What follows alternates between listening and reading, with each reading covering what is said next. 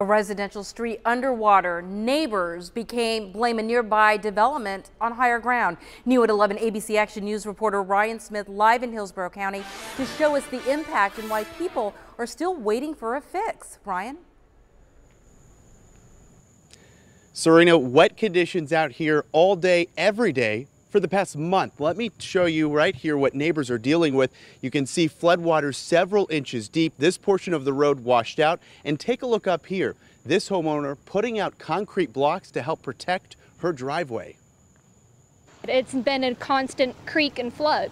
Water rushes down Hidden Country Court in Tampa. Every time we have a rainstorm, even a sprinkle, that whole system opens up like a gutter it just pours water down here like an ocean. The edge of Tiffany Fieldhouse's driveway is a complete washout. We're getting car damage because of the holes that are forming. There's so many potholes and we can't afford to fix this.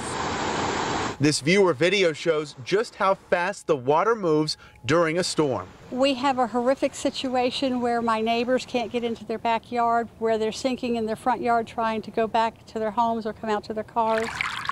Neighbors say the flooding began after Rego Palms by Centex Homes opened in June. I've confirmed Southwest Florida Water Management District is investigating linking the wet road to potential problems with the development's stormwater drainage system.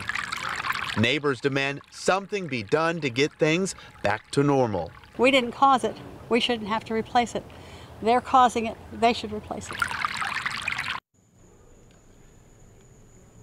And Centex Homes based in Atlanta responding to our questions just 90 minutes ago. They say engineers are in close contact tonight with the county and water management going over and reviewing potential options to mitigate these neighbors' concerns. Live in Tampa, Ryan Smith, ABC Action News.